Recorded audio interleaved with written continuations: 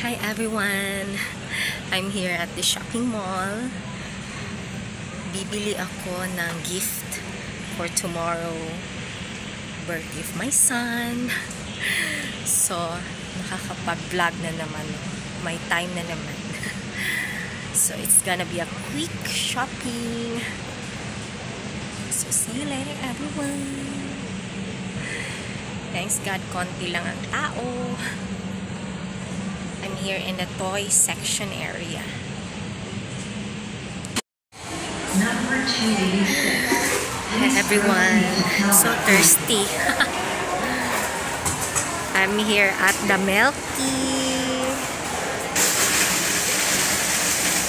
Napagod so I gonna order for drinks for a while. Ah, matcha.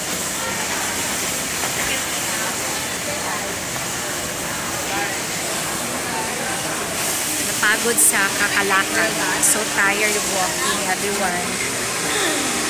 Magdo-drinks muna si Papa Mom.